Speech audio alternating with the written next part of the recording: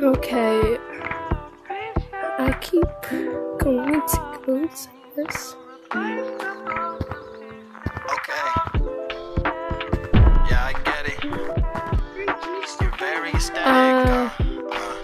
I'm glitched. I'm probably gonna leave in a few seconds though because they keep. keep, okay. I don't know what's going on. Please someone tell me what's going on. I'm worried for my life.